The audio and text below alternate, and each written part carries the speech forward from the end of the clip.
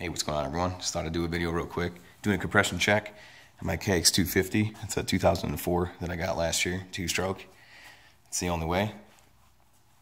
So I've already done three compression checks, and they all averaged out to be 135. I believe the usable range for uh, an 03, an 04 is not that much different, but an 03 is, I believe, 115 to 180 psi.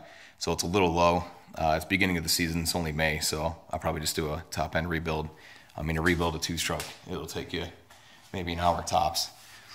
There's nothing to them. So either way, so I got the engine warmed up, let it idle for a little bit, did a couple blips, got the garage all smoky, and uh, just held the throttle open. This is run, run through that real quick, just in case you guys don't know.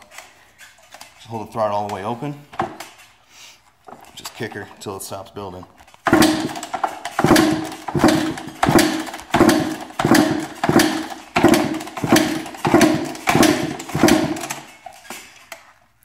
Seats around 135.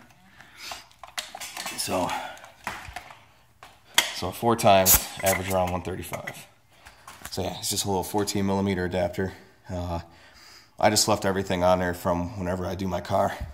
So I just screwed right in. But yeah, so I'll be doing a rebuild of this for the beginning of the season. Cool, thanks.